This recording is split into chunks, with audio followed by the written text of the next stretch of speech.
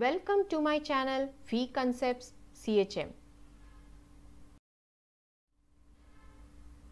This is the second part of the series on viscosity where we will study about the flow through a narrow tube and we will derive the Poiseuille's equation. Flow through a narrow tube, Poiseuille's equation. Observe this diagram. We will suppose a fluid flowing through this narrow tube. The flow is considered to be steady.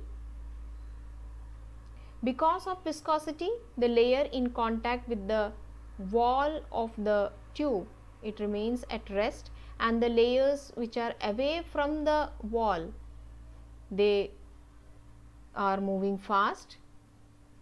Poiseuille derived a formula for the rate of flow of the viscous fluid through a cylindrical tube. We will suppose that the liquid has a coefficient of viscosity eta and density rho. It is flowing through a cylindrical tube of radius r, radius r and length L.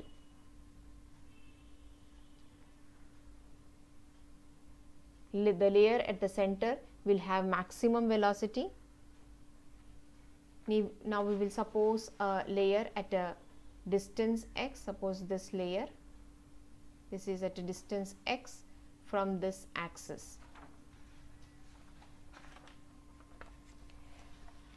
The outer layer, we will assume the outer layer, this one, it is at a distance x plus dx from the axis. We will write down this formula which we had seen in the earlier video f is equal to minus eta into a into du by dx. This is the viscous force.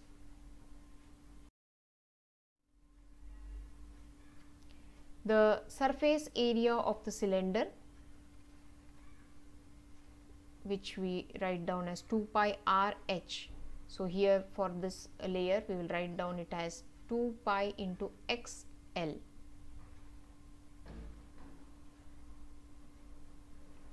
We'll substitute this area in the formula that we had seen above that is f is equal to minus eta into 2 pi xl into du by dx. Now the force at the end A of the tube we will write down that will be pressure into area area is pi x square. So p into pi x square. P is the pressure difference between the two ends. Now for a steady flow both these two forces should be equal. So we will equate both these formulas. So that is written pi pi will get cancelled out. X will cancel out from here. So what remains is we will rearrange this equation and we will write down du by dx is equal to minus px upon 2 eta l. This is again written as du is equal to minus of p upon 2 eta l into x dx. dx is taken on the other side.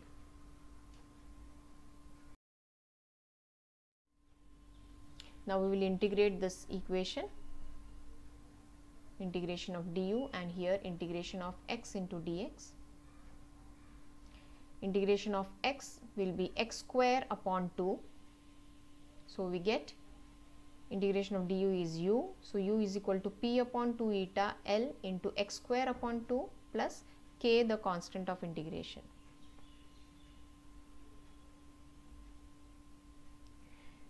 The velocity of the liquid along the sides of the tube is 0.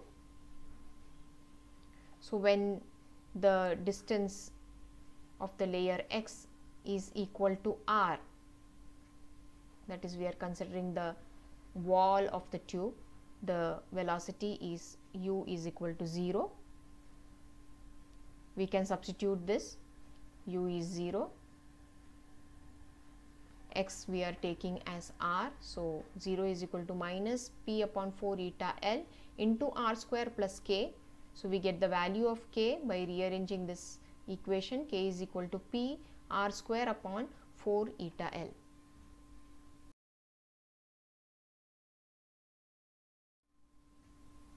we can substitute the value of k now in the formula of velocity here.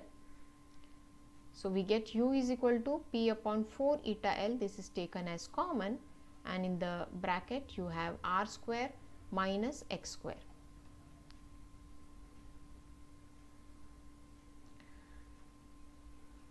So this is the velocity of the liquid for a layer of uh, which is at a which is having a radius x or which is at a distance x. Now we will write down the volume of the liquid between the two layers per second. We will denote it as dV. It is the area between the two imaginary tubes. So, area into the velocity. Area is 2 pi x into dx. So, area is given as the circumference, circumference into this distance between the two tubes, distance between the two tubes is dx. So, circumference is 2 pi x for this layer, circumference is 2 pi x into the distance between the two tubes that is dx. So, 2 pi x into dx is the area, velocity is u. So, that is substituted. So, we get this 2 pi x into u dx.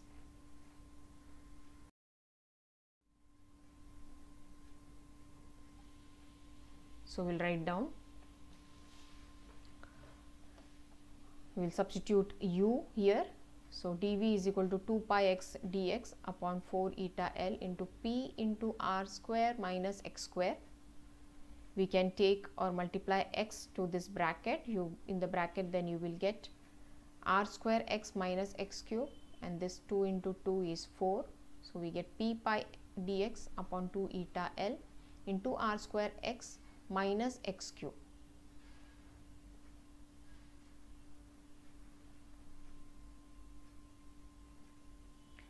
So, rate of flow of liquid through the entire tube that can be found by integrating this. So, integration of dV is equal to we will have to integrate here this bracket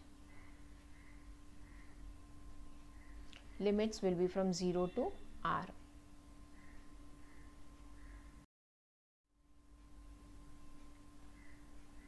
So, that is written here what we had seen in the earlier slide. We are integrating this. This is a constant so that is written outside.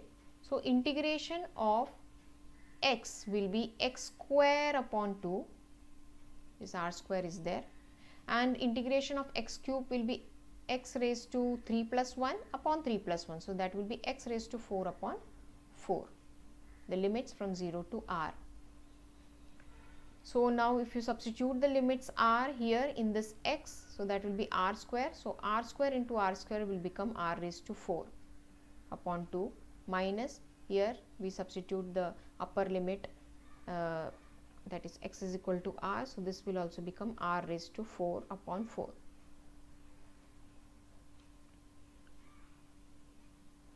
We can cross multiply this. So that will be 4 raised to uh, 4 into r raised to 4 minus 2 into r raised to 4 divided by this 2 into 4 is 8 so subtracting this we get 2 r raised to 4 upon 8 this 2 2 will get cancelled out.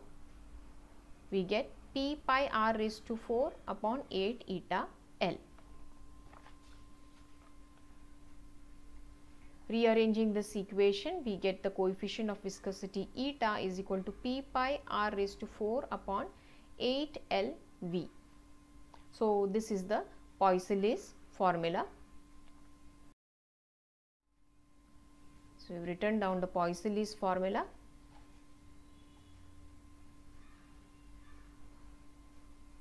where P is equal to H rho G that is the hydrostatic pressure at any point inside the liquid R is the radius of the capillary tube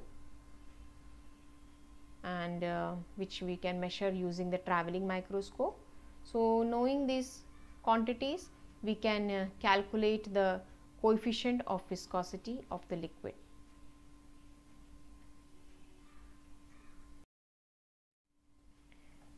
Thank you for watching this video.